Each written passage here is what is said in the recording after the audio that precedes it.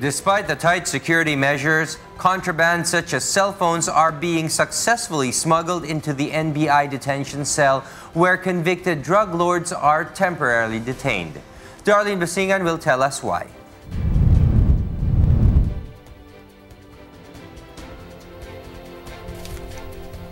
The Department of Justice is seriously looking into the allegation of an informant that some NBI agents are receiving 1.5 million pesos bribe for every cell phone smuggled for the drug lords detained at NBI detention cell.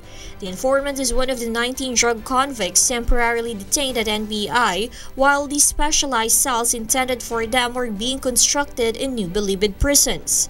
He's claiming that the NBI agents themselves doing inspection in the detention facility are the ones who brought the cell phones inside in exchange of money from some drug lords.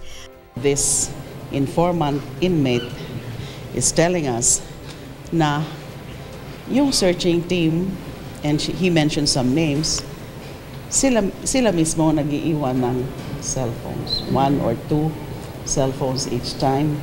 But this is for a fee. Allegedly, allegedly, syempre, we will try to find out kung totoo yan sa, during the investigation. 1.5 M per cell phone. Allegedly, the Chinese drug lords negotiated for the cell phones from NBI agents. The money used to bribe the NBI agents is delivered from outside. An NBI official is also possibly involved in the bribery.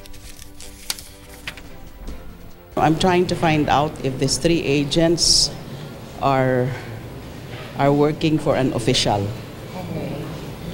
There is an indication, but I'm not yet sure.